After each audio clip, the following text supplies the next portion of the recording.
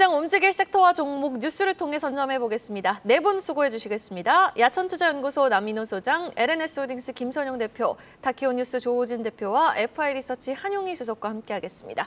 어서 오세요. 자, 첫 번째 이슈 주말 사이 나온 반도체 소식부터 점검해 보겠습니다. 일본 정부가 반도체 장비의 대중국 수출 제한을 이제 시행하기 시작했습니다. 미국의 대중국 반도체 견제 기조에 동행하기 시작한 것으로 풀이가 되는데요. 자세한 상황 좀 정리 부탁드리겠습니다. 네, 우리도 사실 예전에 한번 당해서 이제 한동안 좀 힘들었었던 기억이 좀 있으실 겁니다. 일본이 어제부터 대중국 반도체 장비 수출 첨, 수출 규제를 시작했다는 그런 내용이, 나, 내용이 나왔는데요. 이와 함께 TSMC가 4분기 연속으로 반도체 매출 1위를 했다는 그런 소식까지 연결해서 한번 가보도록 하겠습니다. 일단 첨단 반도체 노광 장비 및 세정 장비 등 어, 총 23개 품목이죠. 이제 수출 시에 포괄 수출 허가 지역인 미국과 우리나라 등 42개국을 제외하고 나, 다른 곳은 모두 이제 개별 허가 절차에 적용한다라고 그렇게 얘기했습니다. 어, 개별 허가하면 보통 이제 수출 절차가 굉장히 복잡해지는데 어, 수출이 불가능해지는 경우도 가끔 발생하기 때문에 이에 따라서 영향을 좀 받을 수 있을 것 같고요. 이에 일단은 일본의 경제 산업성은 특정 나라를 염두에 둔 것이 아니라고는 얘기를 했습니다. 그래서 군사 목적의 용도 변경을 변경을 방지하려는 것이다라고 밝혔는데 이건 뭐 대놓고 대중 국 중국 통제 효과가 나오기 때문에 이건 뭐 참고해 보시면 좋을 것 같고요. 어, 다음으로 또 전 세계 반도체 시장 매출에 대한 얘기 해보겠습니다. 기사 타이틀 항상 제가 말씀드리지만 진짜 이렇게 굳이 쓸 필요가 있을까 싶은데 일단 TSMC는 여러분 잘 아시겠지만 30년 동안 파운드리만 한 기업입니다. 즉 누가 설계도 주면은 즉 주문 양이 딱 정해져서 들어오면 그것만 찍어서 내는 기업이기 때문에 일단은 여러분 뭐가 없겠습니까? 당연히 재고가 거의 없을 건데요. 이건 사실 업종 특성이다라고 먼저 한번 체크해 보시면 좋을 것 같습니다. 이에 반해 삼성전자는 반도체 매출의 70%가 뭐냐 메모리죠. 근데 메모리 같은 경우는 잘 아시겠지만 일단은 찍어놔야 누가 사가는 그런 구조다. 그래서 이제 TSMC의 어떤 파운드리랑 굉장히 다른 구조다라고 보시면 될 것 같고요. 상대적으로 당연히 파운드리만한 TSMC와는 수익 구조가 TSMC가 수익 구조가 훨씬 안정적입니다. 그런데 그런 TSMC도 최근에 이제 실적이 제법 빠질 정도로 반도체 시장이 그안 좋았으니까 당연히 다 어려웠거나 뭐 뻔히 보이는 거고요. 이런 상황에서 또 인텔 같은 경우는 AI 붐에 PC 및 서버용 CPU의 압도적인 점유율을 이용해서 매출이 증가했습니다. 이에 따라서 삼성전자를 따라잡은 모양새긴 하지만 일단 이것도 삼성전자의 수익 구조상 어쩔 수 없는 부분이고요. 하지만 지난번에 이제 삼성전자가 반도체 감산 발표를 했죠. 근데 보통 감산 효과가 3개월 정도 후부터 나오기 때문에 뭐 이후에 제가 봤을 때 2분기까지는 어려운 상황이 이어질 수 있지만 3분기 때부터는 눈에 띄게 개선이 될 겁니다. 그리고 작년에 그렇게 뭐라고 했고 올해 초에 삼성전자 얘기하면서 뭐 재고가 너무 많다, 공매도 엄청 쌓인다 이런 얘기 나올 때도 재고 얘기를 되게 많이 했는데 최근에 재고가 굉장히 빠르게 줄어들고 있다. 이 부분도 체크해 보시면 좋을 것 같고요. 게다가 파운드리에서도 TSMC의 4나노 수율을 75%로 따라잡았습니다. 그렇기 때문에 최근에 많이 나오는 게 엔비디아의 젠슨 황 CEO나 아니면 AMD 같은 경우도 삼성 쪽에다가 이제 좀 파운드리 주문을 하겠다는 그런 얘기했습니다. 젠슨 황 직접 최근에 TSMC에 집중되어 있는 이 파운드리 수, 이렇게 주문을 삼성전자로 나눈다는 그런 얘기를 했습니다. 이 부분 체크해 보시면 좋을 것 같고요. AI 열풍으로 최근에 또 DDR5의 수요가, 수요가 높아지는 만큼 또 앞으로 삼성전자가 수익이 그리고 매출을 좀 늘릴 수 있는 그런 베이스가 될 수 있기 때문에 이 부분 참고하셔가지고 투자해 보시면 좋을 것 같습니다. 네, 그래도 4나노 수율 75%에 달하는 삼성전자, 또 DDR5 관련해서 수혜가 예상되는 삼성전자라고 정리를 해주셨습니다. 자, 일단 뭐 미중 반도체 패권 전쟁은 계속해서 심화되고 있는 모습입니다. 공급망 불확실성이 커지진 않을지 좀 우려되는 상황에서 업계에서는 지금 또 중국이 어떤 추가 대응에 나설지에 관심이 모아지고 있는 상황이죠. 당연히 뭐 히토류겠죠. 뭐 일전에 한번 갈륨하고 게르마늄에 대한 수출 통제를 걸겠다라고 하고 이게 8월부터 이제 시행이 되는데 중국은 결국엔 히토류를 좀 무기를 삼을 것으로 보입니다. 근데 사실 갈륨과 게르마늄 같은 경우에는 다른 나라가 생산을 못하는 게 아니고요. 그러니까 중국보다 생산 원가가 비싸기 때문에 경제력이 없어서 못했던 겁니다. 그다음에 좀 환경적인 부분들이 있기는 했는데 그러면은 우회를 해가지고 다른 쪽에서 수입을 할 가능성은 좀 높다라고 생각을 하고 있고 그럼 미국 같은 경우에는 지금 어, 중국이 갈륨과 게르마늄 수출 통제를 한다라고 하더라도 크게 타격이 있는 것은 아니거든요. 물론 생산하는데 원가가 조금 비쌀 뿐이지. 그러면은 지금 중국에 대한 제재는 계속적으로 좀 때려질 것이다라고 생각을 하고 있고요. 그러면 지금 미국이 그 램 리서치 애칭 장비를 도입을 못하게 막아버리게 되면은 그 YMTC의 랜드부터 이제 차질이 생깁니다. 이 공장부터 생산 차질이 생기는 거고요. 그다음에 CXMT 디램 같은 경우에는 이제 생산 차질이 생기게 됩니다. 그다음에 그 EUV 장비, 그러니까 에- 네덜란드 ASML 장비를 이제 통제를 한다라고 밝혔죠. 그다음에 네덜란드도 미국의 우호적인 국가이기 때문에 중국에 대해서 이제 장비를 조금 통제할 것으로 보이고는 있는데 그럼 SMIC 선당봉 정도 이제 못하게 됩니다. 근데 앞으로는 결국에는 중국 반도체 굴기를 조금 막아서겠다라는 내용들인데 그러면은 단기적으로는 테마성을 보면 이제 히토류 관련주들이 좀 올라올 가능성이 좀 있다라고 생각을 하고 있고요.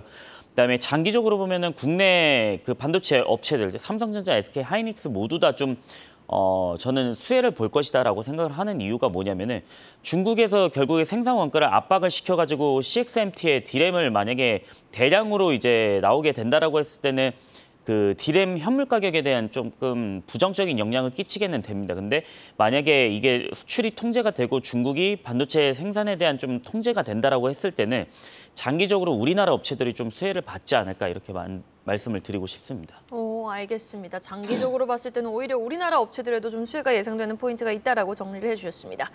이어서 공시 하나 한번 확인해 보죠. 이 삼성생명의 삼성전자 지분 축소 공시가 또 나왔습니다. 어, 조준 대표님은 삼성생명 공시 나올 때마다 꼭 언급을 해주시는 것 같거든요. 그만큼 또 중요도가 높기 때문일 텐데 주목할 포인트 어디에 있을까요?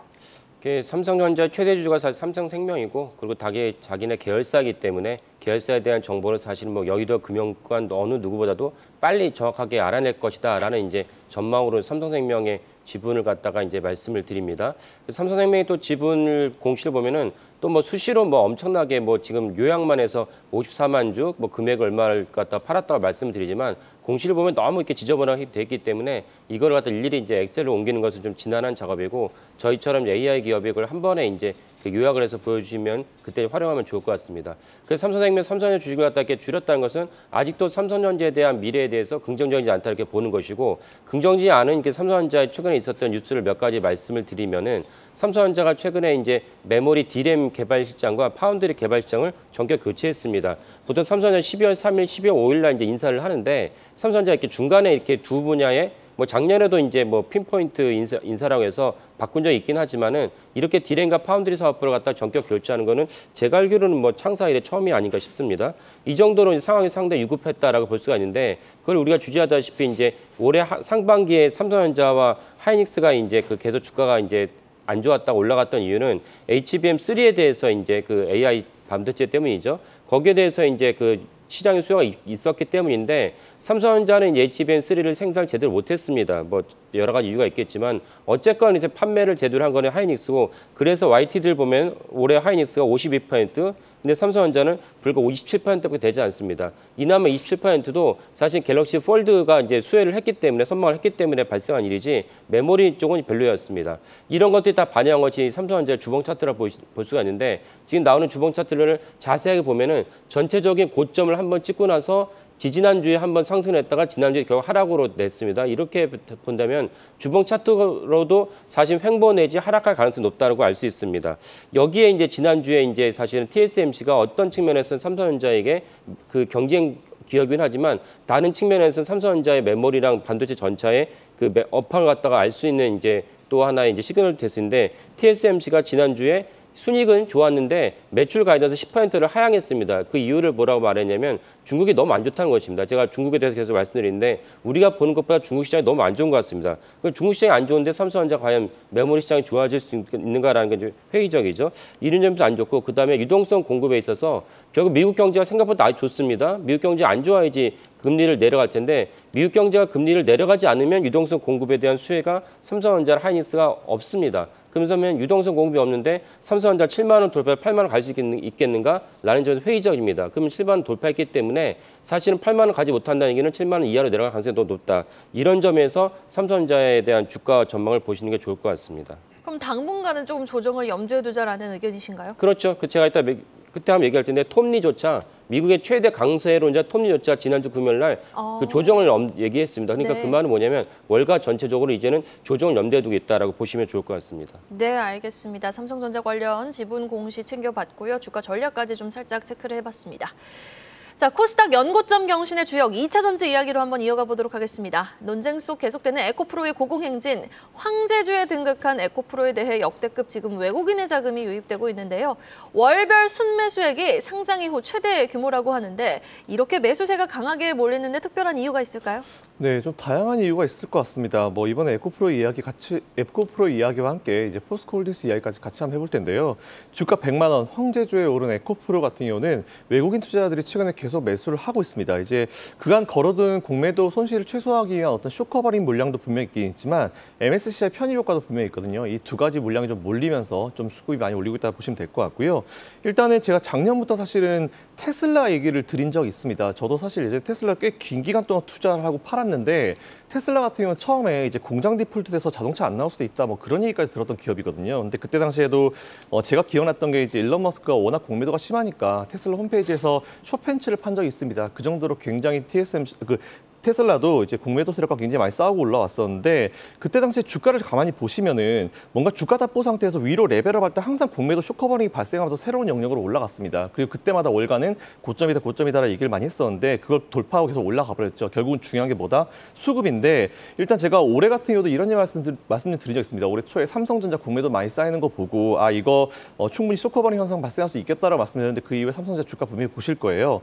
에코프로를 제가 주말에 좀 자세히 살펴봤습니다. 근데 이게 중요한 포인트가 뭐냐면은 short covering이 발생하면서 주가가 올라가는데 여기에 여기에 비해서 공매도는 안 줄었습니다. 그 얘기가 무슨 얘기냐면은 여전히 공매도 세력들은 한번 해보자 그런 얘기고요. 이런 최근의 추세, 이 매수 추세가 이어지는 이- 이어지는 걸 봤을 때 short covering 현상은 제가 봤을 때 당분간 이어질 수도 있겠다. 이에 따라서 주가는 어느 정도 또 상방으로 또 올라갈 수 있다, 있겠다 라는 이런 생각을 가지고 있습니다. 물론 테슬라의 케이스를 좀 보시는 게 맞는 것 같고 테슬라도 당시 밸류로는 계산 안 됐습니다. 미래 밸류를 항상 끌어다 당겨가지고 주가가 올라갔었는데 어쨌든 이거는 여러분 참고해 보시면 좋을 것 같고요. 그렇다 하더라도 그렇다 하더라도 제가 주식을 올해 23년 좀 넘게 했는데 주가가 영원히 올라가는 기업 절대로 없습니다. 중간에 깊은 조정 분명히 나오고요. 고점 대비해서 20% 30%씩 밀리는 경우 굉장히 많이 나오거든요.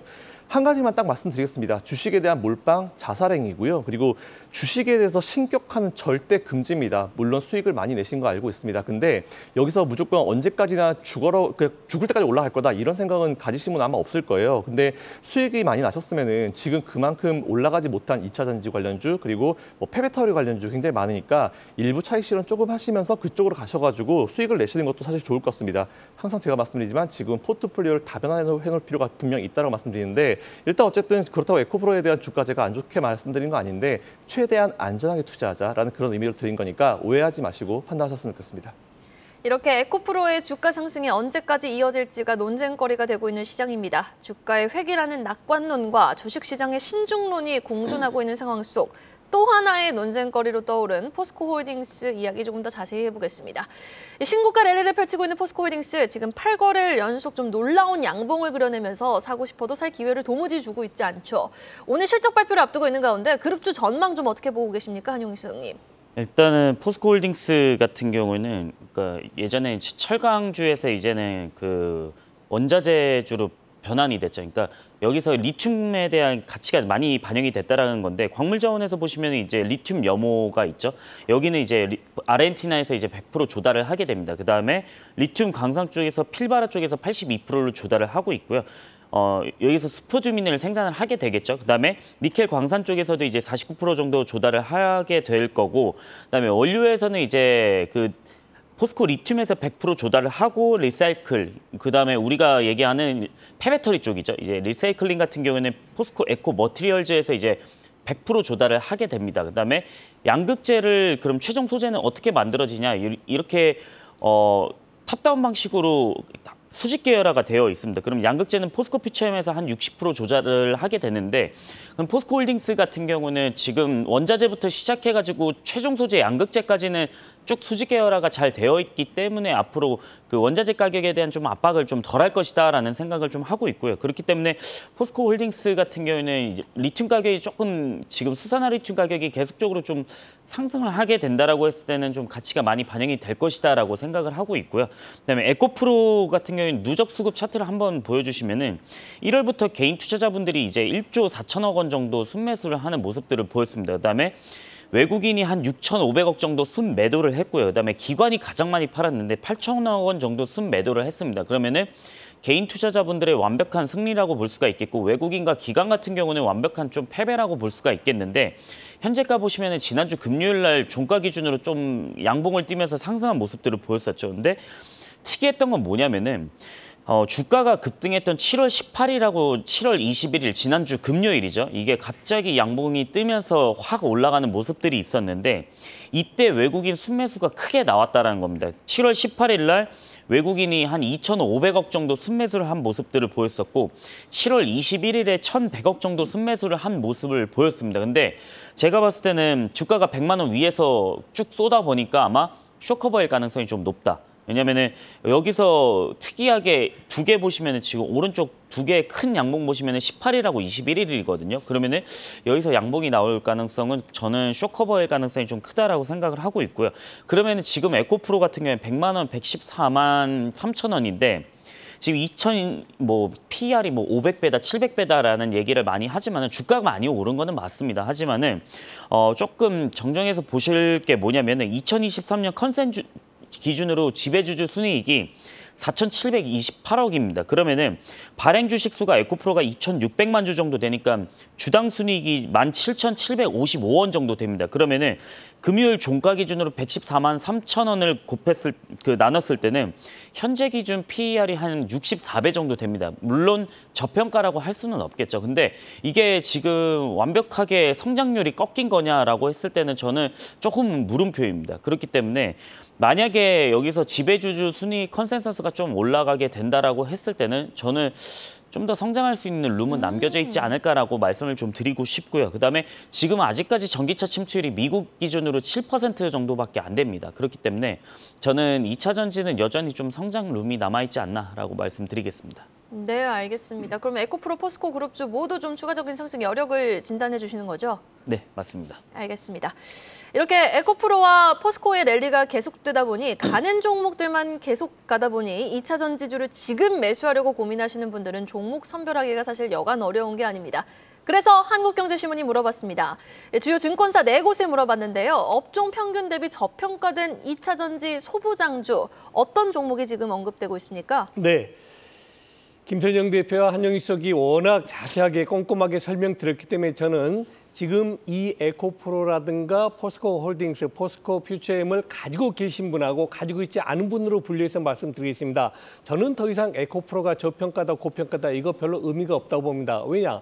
시장포보다도 여러 배 훨씬 더 강한 상태에서 여기서 저평가 고평가 논란은 없다. 지금 에코프로 관련주들은 오히려 수급의 논리에 의한다. 사는 사람의 힘이 더 세냐, 공매도 치는 사람의 힘이 더 세냐에 따라서 주가가 움직이기 때문에 매우 주의하셔야 된다는 말씀 먼저 드리겠고요. 자, 지금 만일에 가지고 있지 않는 분들이 내가 2차 전지를 꼭 사고자 하는 마음을 가지고 계신다면 저는 지금 방금 언급됐던 그런 종목군들보다는 오히려 주요 증권사들이 확실하게 저평가다라고 보는 종목군에 관심 가셔야 된다고 봅니다. WCP라든가 SFA, PNT, 코인테크, SKI 테크놀로지, 천보, SKC 등 여러분들께서 그동안에 어 이거는 왜 이렇게 주가 못 오르지? 이런 종목군들 결국은 2차 전지가 대세 상승으로 간다면은 이들 주요 핵심 부품 종목들은 오를 수밖에 없다고 말씀드리겠고요. 다음 두 번째, 지금 2차 전지의 대장주들을 가지고 계신 분은 어떻게 하면 좋겠느냐? 제가 늘 말씀드렸죠. 여러분들은 자동차를 포함한 2차 전지가 여러분들 포트폴리오의 20%가 가지고 계셔야 됩니다. 만일 한 달 전에 20% 가지고 계시면 지금은 그 비율이 몇 퍼센트 됐을까요? 그렇죠. 거의 대부분 30%가 되셨을 겁니다. 그러면 그 넘은 10%는 뭘까요?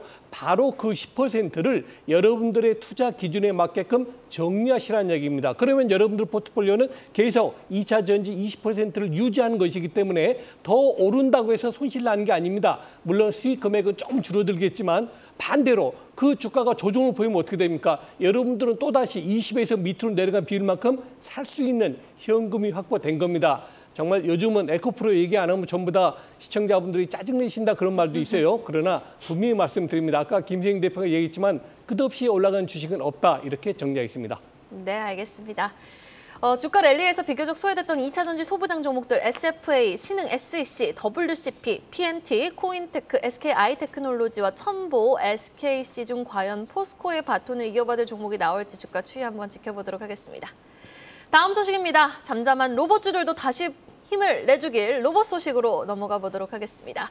서울시가 로봇 친화 도시로 거듭난다고 하는데요. 로봇 산업 육성 종합 계획을 발표하면서 펀드 조성 계획까지 내놨습니다. 구체적인 사항 전해주실까요? 네, 제가 이것도 아마 작년 올해 초에 이런 말씀드린 적 있습니다. 사실 그때 뭐 경기 침체 얘기 엄청 많이 했잖아요. 뭐 언젠가 오긴 오겠지만 모르, 모르겠습니다. 언제 올지는. 어, 경기 침체 왔을 때 제가 이런 말씀을 드렸는데 이렇게 어려운 상황에서 대기업들이 어디 투자하고 어디를 신성장 먹거리로 보는지 한번 항상 지켜보시라고 말씀드렸는데 그때 당시에 제가 언급드렸던 멘트 중에 한 종, 그 업종 중에 하나가 로봇이었습니다. 뭐 삼성을 비롯해서 로봇 쪽에 투자를 많이 하겠다는 얘기가 많이 나왔었죠. 이런 건 여러분이 한번 지켜보시면 좋을 것 같고요. 일단 어제 서울시가 로봇 산업 육성 종합 계획을 발표했습니다. 이에 따라서 뭐 서울을 로봇 친화 도시로 거듭날 수 있도록 하겠다고 밝혔는데 일단 서울시는 올해부터 2026년까지 4년간 2,029억 규모의 로봇 산업 성장 펀드를 조성해서 로봇 스타트업 기업에 투자하겠다라는 그런 계획을 발표했습니다. 또 작년에 문을 연 개포동의 디지털 혁신파크 내에 로봇 서울 로봇 아카데미를 통해서 2026년까지 실무형 인재 700명을 길러내겠다라는 이런 내용까지 발표를 했는데요. 올해 8월 달에는 이제 서울 의료원을 시작으로 공공병원에서도 이제 돌봄 로봇 실증 서비스를 이제 시작한다고 합니다. 뭐 근데 제가 이게 뭔가 좀 살펴봤더니 돌봄 로봇 실증 서비스가 혈액이나 뭐 입원 환자 등 이제 물품을 로봇이 이송하는 서비스인데 사실 이거 되게 좋고요. 아마 공항 가보신 분들은 그 기란내한 로봇 있잖아요. 그때 짐 올릴 수 있는데 그런 서비스라고 보시면 될 것 같습니다. 어쨌든 어, 앞에서도 말씀드렸지만 진짜 어려울 때 대기업이 투자를 하는지 안 하는지 근데 최근에 대기업 투자 다 했습니다. 근데 어디에 투자하는지 그게 나중에 시장의 분위기가 바뀌었을 때아 그때 거기서 이렇게 했지 그때 그거 투자할 걸 이런 생각을 사실 저도 수십 년간 되게 많이 했기 때문에 여러분들이 꼭 말씀드리고 싶은 게 아직 출발하지 못한 대기업들이 투자한 기업들 많거든요. 뭐 지금 뭐 여러 가지 말 많습니다. 뭐 조정이 온다, 뭐 어쨌다, 어쨌다 이런 얘기 많이, 많이 나오는데 제일 중요한 건 뭐냐면은 조정은 항상 있어 왔고요. 그거에 대해서 여러분들이 포트폴리오 너무 망가지실 필요 없고 중심 잡으시고 투자하시되 항상 어려울 때 대기업들이 어디 투자했는지 우리만큼 우리보다 훨씬 더 경기 침체에 예민하게 반응할 수밖에 없는 게 대기업들이기 때문에 그 부분 체크하셔가지고 투자해 보시면 좋을 것 같습니다. 네, 알겠습니다. 지금 대기업과 정부가 나서서 투자하고 있는 로봇 산업 그리고 로봇 관련 종목들의 반등을 어, 하루빨리 또 기대해 보도록 하겠습니다. 다음 기사입니다. 본격적인 여름 휴가철이 시작된다. 성수기를 맞이한 여행주 소식으로 이어가 보죠. 지금 뉴욕 증시 보면 여행주들의 고공행진이 눈길을 끌고 있습니다. 뭐 예를 들어서 카니발 코퍼레이션 같은 경우는 올해 들어서만 120% 급등, 수직 상승하는 모습을 보여주고 있는데요. 이러한 주가 상승 계속 이어질 것이라는 전망도 나오고 있다고요. 네, 그렇죠. 아무래도 미국의 경기 사이클, 미국의 산업 움직임하고 우리 대한민국의 산업 움직임은 유사하게 갈 수밖에 없는 것 아니겠습니까? 그런데 지난 6월 달에 미국의 여행객들을 살펴봤더니요. 7천만 명이 넘었답니다. 이 숫자 기억해 두십시오. 자, 그리고 2년 전으로 가보겠습니다. 2020년 코로나가 가장 기승 부렸던 2020년 4월 달에 미국 내 한 달 여행객들의 숫자는 불과 500만 명이 안 됐답니다. 이게 무슨 얘기입니까? 2년 전보다 여행객들이 12배가 넘어서는 그런 굉장히 큰 폭발적인 증가세를 보였다는 겁니다. 그동안 전문가들은 인플레이션이라든가 물가 상승으로 여행객 수요가 매우 둔화될 것이라고 잘못 전망을 했는데 지금 미국 상황은 그렇지 않다는 겁니다. 방금 이승科소개해 주신 카니발 코퍼레이션이라든가 로얄 캐리비안 크루즈 또 노르웨이 크루즈 라인 등 어, 크루즈선 우리가 그 타이타닉 생각하시면 될 겁니다. 이막 배인데 엄청나게 큰 배 있지 않습니까? 수백 수천 명이 여행하는 거. 물론 그들 배는 내륙뿐 아니고 이제 대륙과 대륙, 태평양을 건너서 뭐 인도양 건너서 이런 큰 배인데 그 배들의 주가 상승률이 자그마치 100% 가까운 높은 상승률 보였습니다. 자, 이제 우리나라로 와 보겠습니다. 비록 우리나라는 크루즈로 이렇게 막 여행하는 여행사는 없습니다만 그래도 노란풍선이라든가 또 하나투어 그리고 대한항공을 비롯한 LCC 즉 저비용 항공사들의 주가 수준 봐보십시오. 거의 움직임이 없었거든요. 미국의 여행객들 늘어난다면 분명히 머지않아 우리 대한민국 여행객도 늘 수밖에 없다 하시면서 아까 말씀드린 그들 종목에 관심 가지시면 좋겠다로 정리하겠습니다. 네, 그럼 국내 여행주 상황도 점검을 해보도록 하죠. LCC 업체들에 대한 2분기 실적 기대감은 만연한 상황입니다. 향후 주가 전망 어떻게 보고 계십니까? 저는 장기적으로는 좀 괜찮다라고 판단은 하는데 최근에 좀? 네 최근에 많이 올라왔었죠. 그래서 네. 이게 변동성이 어떻게 될지는 사실 지켜봐야 되는 부분들이고 지금 카니발 같은 경우는 올해 100% 넘게 상승을 했습니다. 이거는 이제 좀 크루즈선이죠. 그러니까 여객 LCC 업체랑은 조금 그 다릅니다. 그러니까 크루즈선을 여행한다라는 목적으로 좀 보시면 좋을 것 같고 그래서 지금 여행객이 7,700만 명인데 2019년 이후에 가장 높은 수준입니다. 근데 우리나라도 사실 이거랑 비슷한 모습들을 보여주고는 있습니다. 지금 LCC 인천국제공항 그 여객자 그 항공사별 데이터를 제가 가져오기는 했는데 한번 자료를 띄워주시면 설명드리겠습니다. 지금 제주항공이 가장 많죠. 근데 왼쪽 중간에 중간쯤에 보시면 이제 갑자기 훅 떨어지는 게 이제 코로나 발생하고 나서 그러면은 발생 전까지의 데이터들이 저렇게 나왔다라는 거고 지금 그 2023년 6월 데이터까지 제가 가져오기는 했는데 지금 제주항공이 가장 빠르게 좀 회복을 했었고 그다음에 진에어는 살짝 못 미칩니다. 예전보다는 그다음에 그 티웨이 항공이 좀 공격적으로 코로나 때도 비행기 도입을 많이 했었습니다. 그래서 그 이제 중장거리 노선도 아마 할 것으로 보이곤 있는데 티웨이 항공도 이렇게 좀 회복이 많이 됐다. 그다음에 에어서울 같은 경우에도 거의 회복이 많이 됐다라는 건데 그러면은 LCC 업체들은 좀 수혜를 볼 수 있는 가능성이 뭐냐면은 어 예전하고 좀 많이 다른 거를 느끼실 겁니다. 그러니까 일본이나 뭐 동남아를 가더라도 아 되게 그 항공권 비싸다라는 생각이 많이 드실 겁니다. 근데 최근에 이익률이 많이 늘어날 수 있는 가능성이 생긴 게 뭐냐면은 제트유 가격이 많이 하락을 했었습니다. 한 30% 정도 하락을 했었는데 그러면은 그 비용에 대한 인식은 결국에는 회사한테 뭐 전가가 되겠죠. 그러면은 그 비용은 그렇게 떨어지는데 이익은 늘어나다 보니까 그 항공권 가격은 떨어지지 않다 보니까 저는 이익들은 결국엔 LCC 업체들한테 좀 돌아갈 수밖에 없다라고 생각을 하고 있고요. 하지만 조금은 시장에서는 무겁습니다. 이게 뭐 실적이 반영되기까지는 뭐 갑자기 뭐 10% 20% 가는 게 아니고 점진적으로 뭐 1% 2% 이렇게 반영이 되는 것이기 때문에 조금 멀리 지켜보셨으면 좋겠다라고 말씀을 드리겠습니다. 네, 알겠습니다. 오늘 또 티웨이 항공 실적 발표 있습니다. 과연 실적에 따라서 주가 향방이 어떨지 여부 지켜보셔야겠습니다. 마지막으로 공시 하나 더 확인해 보죠. 지금 SGC 에너지 이보경 회장이 보유 주식을 좀 축소했다라는 내용의 공시가 전해졌는데 투자자분들이 주목할 포인트 전해 주실까요?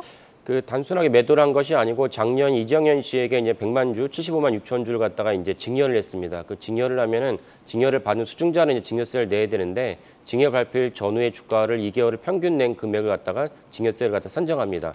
그러면 당연히 이보경 씨나 이정현 씨가 이정 증여세 주체는 이정현 씨입니다. 이보경 씨 입장에서도 장녀가 이제 세금을 내야 되는데 굳이 세금이 많이 나는 구간을 갖다 주가가 올라가는 구간을 선정해서 증여하지 않았을 거라고 추정을 합니다. 그렇기 때문에 이제 그 앞으로 한 두 달 정도 주가가 올라가지 않을 것이겠지만 두 달 후에는 이제 그 두 달 금방 지나죠. 두 달 후에는 이제 주가가 올라가지 않겠느냐라고 이제 추정을 하는 것이고 그 최근에 있었던 일들을 갖다가 SGC 에너지를 좀 보면은 SG 에너지 이제 한전이 이제 너무 지금 횡보하거나 안 좋으면은 SG 에너지도 이제 수익이 안 좋습니다. 왜냐하면 SG 에너지에서 그, 그 전기를 갖다가 환전이 구입을 하거든요. 그러면 한전이 적자가 계속 깊어지는데 그러면 SG 에너지도 안 좋죠. 그래서 한전 적자 탈출하면 아까 말씀드린 S&P라고 한전이 이제 전기를 갖다 사오는 걸 갖다 SMP라고 하는데 SMP 시행 축소하면은 SGC 에너지의 수혜가 됩니다. 이런 점이 또 하나 있고 SGC 에너지는 사명이 나다시피 그 에너지 기업인데 그린 파워라는 열병합 그 발전을 합니다. 열병합이라는 것은 이제 전체적으로 이제 우리나라 전체적으로